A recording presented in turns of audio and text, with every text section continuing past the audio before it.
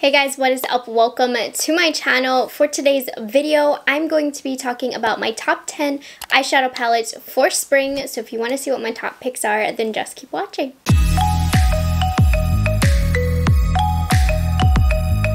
Hi guys, if you're new here, my name is Morgan. I am a product knowledge enthusiast. I just love knowing anything and everything about all of the new makeup on the market and sharing my thoughts with you guys. Now, I did this video last year, so if you want 10 more palettes, I still stand by the picks from that video, so I will link it down below. I actually had to take a couple out from this video, so it could be different than last year's. When I do these videos, I try and do an even range of old palettes, new palettes, inexpensive, more expensive, all of that good stuff. I just like to have a nice even mix of every category that I can give you guys. More than anything, this type of video is just to encourage you to pull out palettes that you already have. You of course aren't limited to the colors that you wear every season, but it's always fun to kind of stick to a theme, you know what I mean? So when it comes to spring, my thought process is pinks and purples, pastels, really light colors on the eyelids. So that was kind of my inspiration for the palettes that I chose. My palettes are in no particular order other than alphabetical order. So that's how I did it for this time. So the first palette that we have is from Anastasia Beverly Hills. This is the Norvina Volume 4 collection. And I really enjoyed the Norvina palettes. I know a lot of people were overwhelmed by them, weren't so crazy about them, but I really liked them. But this one was my least favorite by far of the four. I felt like this one didn't have as good quality as the first three. Nonetheless, you can absolutely get very beautiful looks with this palette. You can see this palette sticks in the purple and pink range, making it perfect for the spring. I haven't reached for this very much since I reviewed it when it came out last year. So this is my reminder to myself, this is the perfect time of year to pull this guy out. You can get pretty neutral brown looks with this corner right here, and then you have an abundance of pink tones, neutral tones, and of course purple tones as well. So if you have this palette and you picked it up last year, this is a good time to pull it out. You have a lot of options for this upcoming season. The next palette that I chose is fairly new. It's very affordable and it is perfect. This is the BH Cosmetics Lost in Los Angeles palette. And as you can see, we have a lot of pastel tones in here.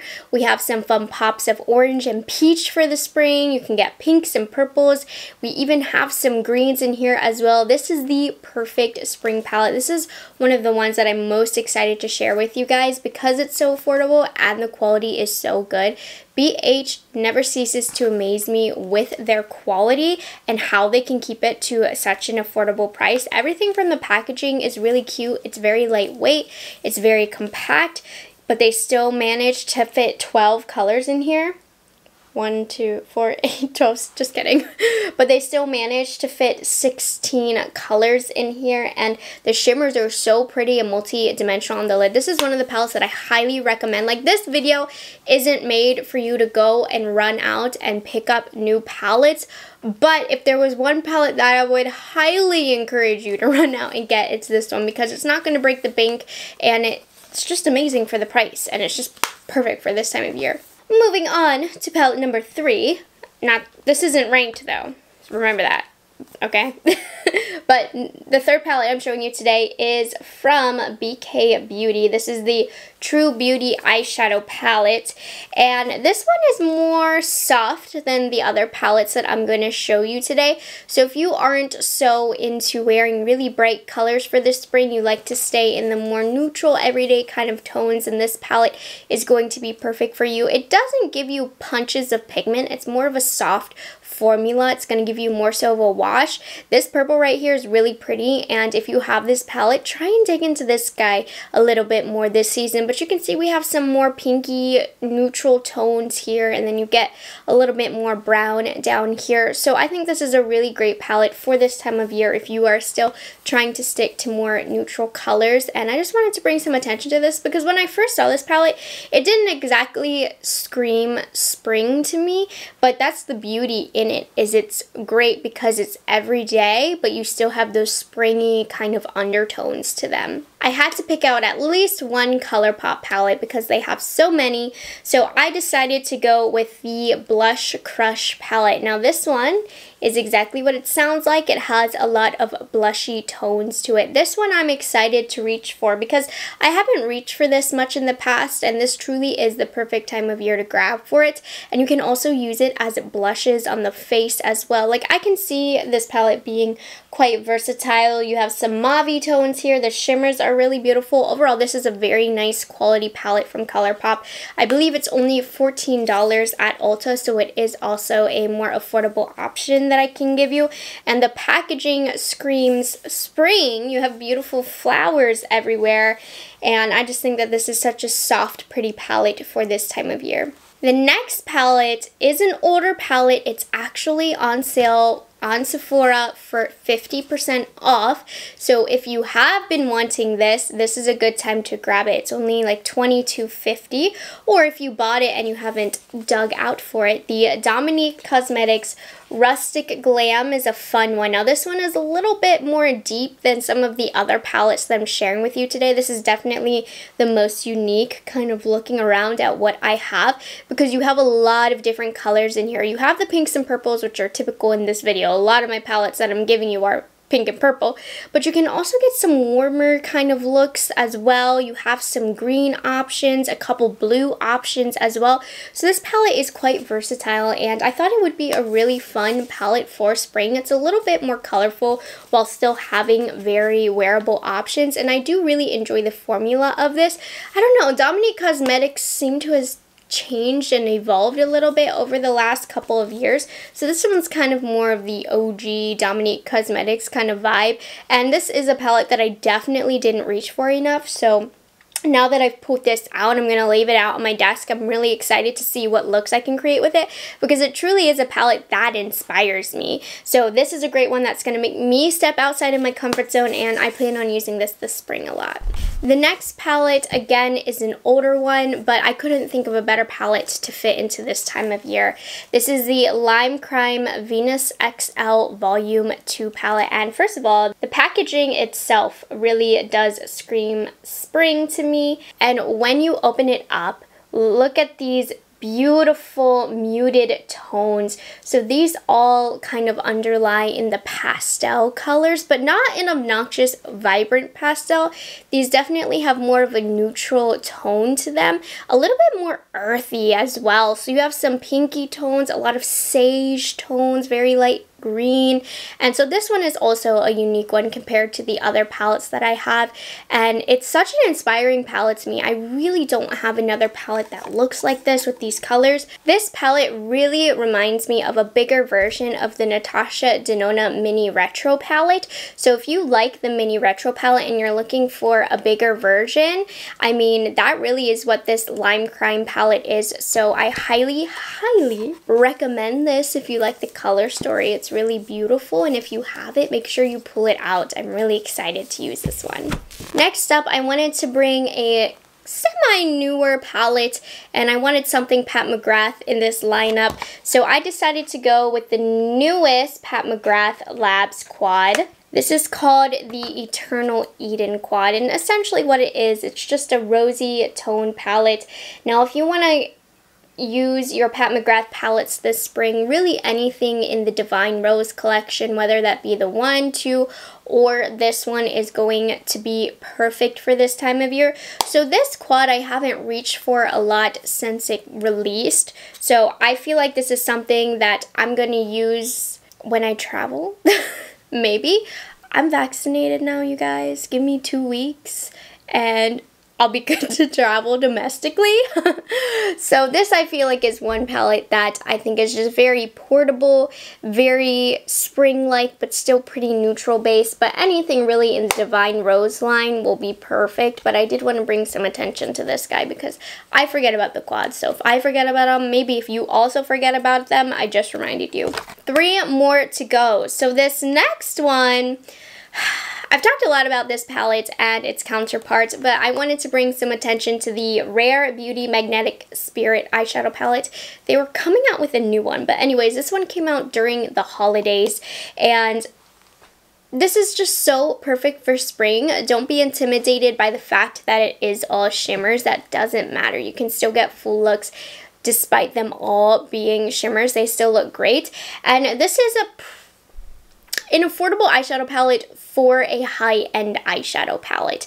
It doesn't immediately break the bank. It's about $25. I think these probably might go on sale soon because they were limited edition and it's a holiday palette. I mean, don't quote me on that, but I do think um, I can foresee this going on sale. But anyways, how pretty is this for spring? You have a peachy tone, more greeny tone, and then you also have the purple tones here. I originally wasn't expecting this palette to end up in this video, but when I was looking through the palettes in my collection, I opened this and I really thought that this would be a fun one to wear this spring, which is weird because this launched over the holidays, but I really think it's more fitting during this time of year.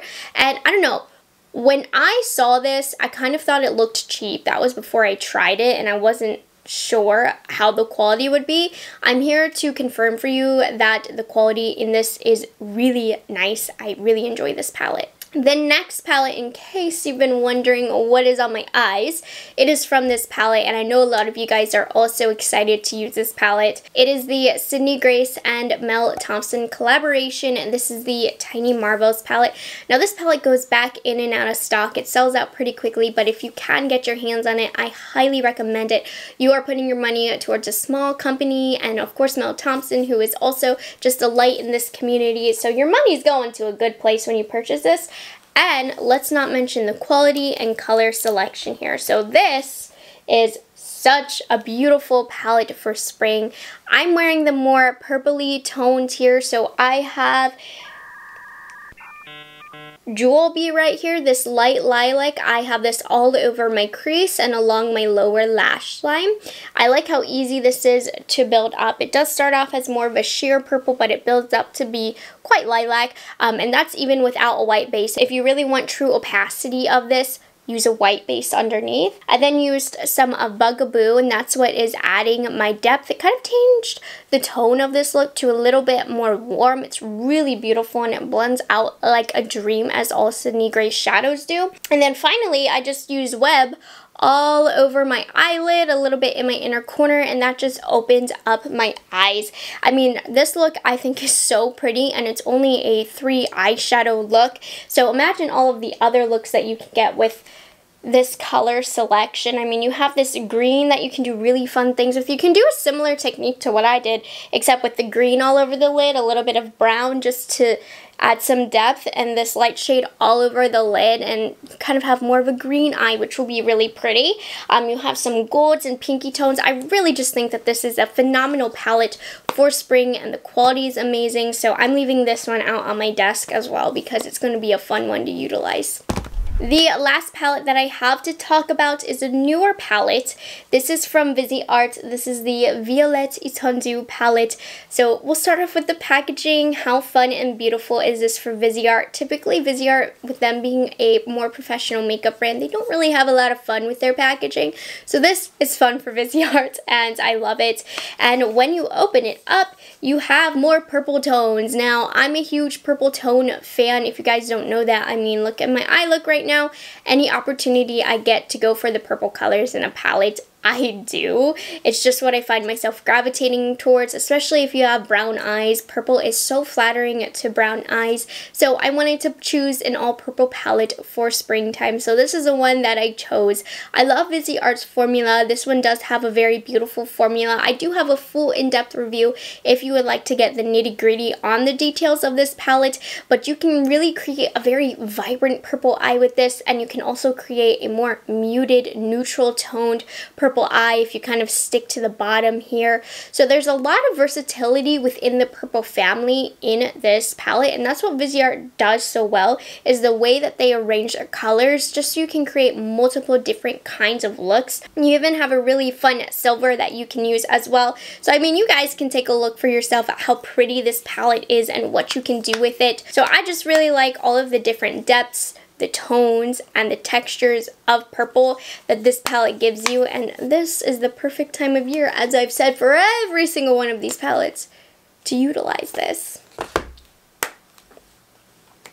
All right, you guys, there we have it. That was my top 10 rank. No, it wasn't. All right, you guys, there we have it. That was my top 10 picks for palettes this spring that I want to use and that I want you to pull out of your collection if they are sitting in your makeup drawers. If you're a makeup hoarder, I hope this video was helpful for you. Or if you were looking to purchase some new palettes this spring and were looking for some inspiration, I hope that I was able to give that to you. So if you guys aren't subscribed to my channel already, I would love it if you would consider taking the time to do so. And I will see you all in the next one. Bye guys, have a good one.